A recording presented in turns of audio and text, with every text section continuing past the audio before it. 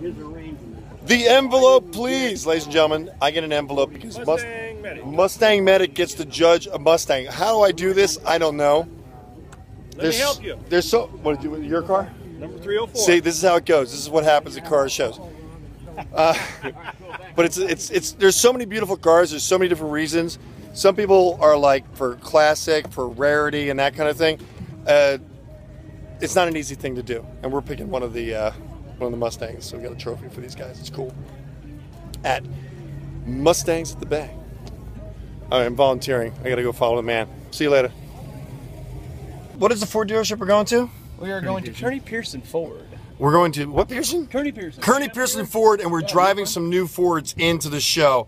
I'm gonna, think it's awesome. I'm gonna try. No, I'm gonna try. The Mustang's already in here, so I don't think I can get my hands on it. shuttle so i can take one i'm not driving the shuttle. No, You're on the no. clock. I'm not. Unless I'm- you're willing to give me your I'll hours take. I'll take the 350, although it's probably gonna spoil me. He doesn't really know how this works, does he? What?